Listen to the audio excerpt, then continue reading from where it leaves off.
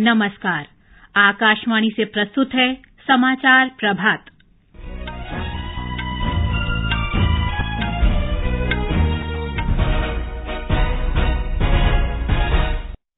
प्रधानमंत्री नरेंद्र मोदी ने कहा, देश की प्रगति के लिए क्षेत्रीय आकांक्षाओं का पूरा होना ज़रूरी। जन औषधि दिवस देशभर में आज मनाया जाएगा। प्रधानमंत्री जन औषधि भंडारों के संचालकों और इस कार्यक्रम के लाभार्थियों को संबोधित करेंगे। गृह मंत्री राजनाथ सिंह आज लखनऊ में एक लाख करोड़ रुपए से अधिक की लागत की ढांचागत और विकास परियोजनाओं का उद्घाटन करेंगे। उपराष्ट्रपति एम वेंकैया नायडू ने कहा, भारत दुनिया में सबसे तेज गति से बढ़ती हुई अर्थव्यवस्था बन गया है और देश में व्यापार को लेकर अब सकारात्मक और उत्साहपूर्ण माहौल है। और महिला क्रिकेट में भारत और इंग्लैंड के बीच दूसरा ट्वेंटी ट्वेंटी मैच आज गुवाहाटी में।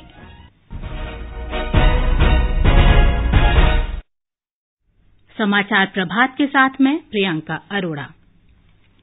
प्रधानमंत्री नरेंद्र मोदी ने कहा है कि देश की प्रगति के लिए क्षेत्रीय आकांक्षाओं का पूरा होना ज़रूरी है और केंद्र की एनडीए सरकार क्षेत्रीय आकांक्षाओं को पूरा ध्यान रखती है। कल शाम चेन्नई के बाहरी इलाके वंडालूर के पास किलम्बक्कम में तमिलनाडु में एनडीए के साझेदार दलों की विशाल रैली को संबोधित करते हुए श्री मोदी ने कहा कि भारत विविधताओं का देश है और ग्राम स्तर तक के लोगों की आकांक्षाओं पर ध्यान देना ज़रूरी है। India will never progress till regional aspirations are met. India is a strong and united alliance. Our decisions are not taken by High Command in Delhi. The people of India are our High Command. Our track record shows that the NDA is the best place to fulfill regional aspirations. Jan Aushadhi दिवस आज देश भर में मनाया जाएगा इस अवसर पर प्रधानमंत्री नरेन्द्र मोदी वीडियो कॉन्फ्रेंसिंग के ज़रिए पाँच हज़ार जन औषधि भंडारों के संचालकों और इस कार्यक्रम के लाभार्थियों से बातचीत करेंगे। देश के छह सौ बावन जिलों में पाँच हज़ार से अधिक प्रधानमंत्री भारतीय जन औषधि परियोजना केन्द्र काम कर रहे हैं। रसायन और उर्वरक राज्य मंत्री मनसुख मांडविया ने नई दिल्ली में संवाददाताओं को बताया कि पिछले तीन वर्षो में जेनेरिक औषधियों की बाज़ार में हिस्सेदारी में तीन गुना बढ़ोतरी हुई है, जो दो प्रतिशत से बढ़कर सात प्रतिशत हो गई है। श्री मांडविया ने कहा कि सरकार का लक्ष्य 2020 तक ब्लॉक स्तर पर जन औषधि केंद्र खोलने का है। सारे देश में हमने पाँच हज़ार जन औषधि स्टोर आज के दिन में शुरू कर दिया है। ये जनऔषधि स्टोर पर maximum 50 percent, minimum 20 percent 30 percent rate में क्वालिटी जेनरिक मेडिसिन उपलब्ध होती है। जनऔषधि केंद्र के माध्यम से जेनरिक मेडिसिन उपलब्ध करवा के देश में जेनरिक मेडिसिन पॉपुलर बने, उसके लिए भी हमने प्रयास करना शुरू किया है। हमारी संवाददाता ने बताया है कि इन केंद्रों से प्रतिदिन 10 से 15 लाख लाभार्थी औषधियाँ खरीद रहे हैं। सरकार आयुष्मान भारत और प्रधानमंत्री भारतीय जन औषधि जैसी योजनाओं के ज़रिए सभी के लिए गुणवत्तापूर्ण स्वास्थ्य देखभाल सुनिश्चित करने के लिए लगातार काम कर रही है। इस परियोजना से आम नागरिकों को करीब एक हज़ार करोड़ रुपए की बचत हुई है। केंद्रों के ज़रिए बेची जाने वाली दवाइयों की कीमत औसत बाज़ार मूल्य से 50 से 90 प्रतिशत तक कम होती है। जन औषधि दिवस पर आज सभी केंद्रों पर कार्यक्रम आयोजित किए जा रहे हैं ताकि ज़्यादा से ज़्यादा लोगों को इस बारे में जागरूक किया जा सके। सुपर्णा सेकिया की रिपोर्ट के साथ समाचार कक्ष से फरहत नाज।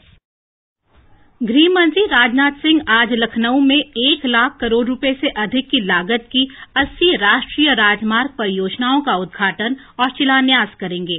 सड़क परिवहन और राजमार्ग मंत्रालय ने एक विज्ञप्ति में कहा है कि श्री सिंह नमामि गंगे कार्यक्रम के अंतर्गत एक हज़ार नौ सौ उनहत्तर करोड़ रुपए लागत की कई परियोजनाओं का भी उद्घाटन और शिलान्यास करेंगे।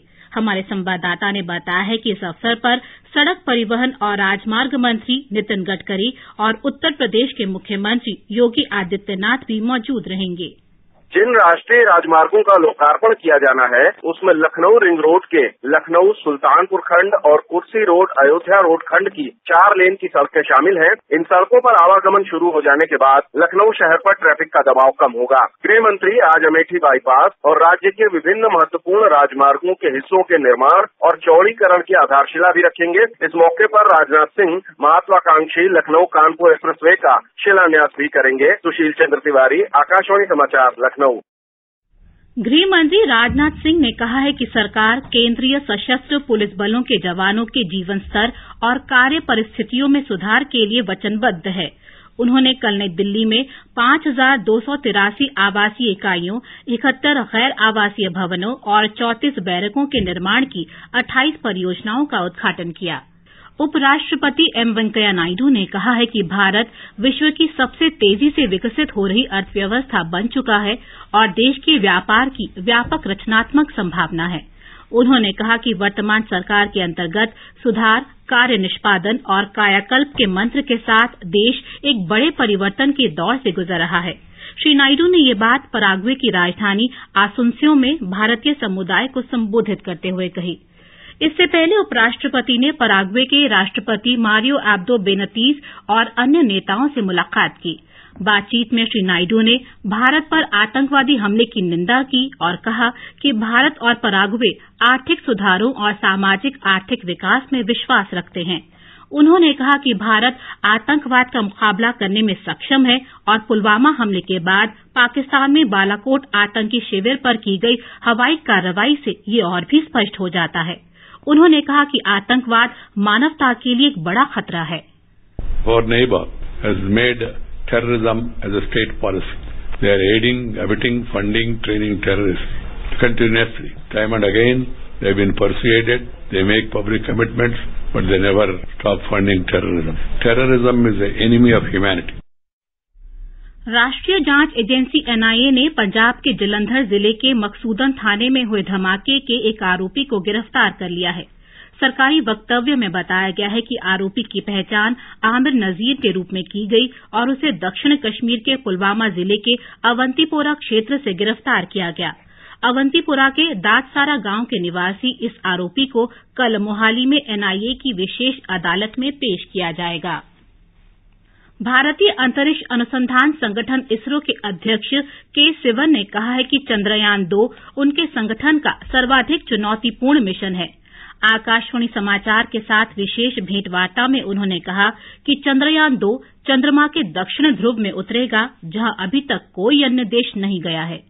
Chandrayaan 2 is almost three missions together in one go. That is, we will be going to the moon and that will be taken care by the orbiter. After that, from the orbiter, the lander will be separating from the orbiter and it will soft land on the moon. Once the lander is landing on the moon, there is a rover which is sitting inside the lander will come out and it will row around the moon surface and do the experiments. Shri Sivan के साथ ये भेंटवार्ता आज रात साढ़े नौ बजे आकाशवाणी के FM gold channel पर सुनी जा सकती है। भारत और इंग्लैंड के बीच दूसरा ट्वेंटी ट्वेंटी महिला क्रिकेट मैच आज गुवाहाटी में खेला जाएगा। मैच सुबह ग्यारह बजे शुरू होगा। ये समाचार हमारी website news on AIR dot NIC dot IN पर भी उपलब्ध हैं। और अब आज के समाचार पत्रों की सुर्खियों के साथ हैं नवीन सक्सेना। धन्यवाद प्रियंका। सेना की शौर्य गाथा। भारतीय वायुसेना द्वारा बालाकोट में पहुँचाए नुकसान के सबूत सरकार को सौंपे जाने की खबर को जनसत्ता सहित अधिकांश अखबारों ने प्रमुखता दी है। बकौल दैनिक जागरण बालाकोट में निशाने पर गिरे अस्सी फ़ीसद बम। हिंदुस्तान ने बताया है हमले की तस्वीरें जल्द सामने आएँगी। दैनिक भास्कर ने लिखा है, भारत और दुनिया भर के देशों के दबाव में पाकिस्तान हाफिज के संगठन जमात जमातुद्दावा के अस्पताल, मदरसा, सील। राष्ट्रीय सहारा के अनुसार पाकिस्तान अपने उच्चायुक्त को वापस भारत भेजेगा। रक्षा मंत्रालय से चोरी हुए राफेल के दस्तावेज़ उच्चतम न्यायालय में राफेल विमान सौदे की सुनवाई के दौरान सरकार के इस बयान को दैनिक ट्रिब्यून सहित सभी अखबारों ने अहमियत दी है। दैनिक भास्कर लिखता है, सरकार की दलील, राफेल पर जाँच हुई तो देश को नुकसान हो सकता है। जस्टिस जोसेफ ने कहा, भ्रष्टाचार के आरोपों पर राष्ट्रीय सुरक्षा की आड़ न ले सरकार। बातचीत से निकलेगा अयोध्या विवाद का हल। अयोध्या भूमि विवाद मामले की सुनवाई में मध्यस्थता पर उच्चतम न्यायालय का फैसला सुरक्षित रखने की खबर को देशबंधु सहित कई अखबारों ने दिया है। दैनिक जागरण ने लिखा है, न्यायालय ने मध्यस्थों के नाम मांगे। दिल्ली में नियमित शिक्षकों की तरह साठ की उम्र तक पढ़ा सकेंगे गेस्ट टीचर। नवभारत टाइम्स ने दिल्ली मंत्रिमंडल के इस फैसले को प्रकाशित किया है। हरिभूमि की खबर है, प्रधानमंत्री नरेंद्र मोदी ने निजी बचत से 21 लाख रुपए कुंभ मेले से जुड़े सफ़ाई कर्मियों के कल्याण कोष में दान किए।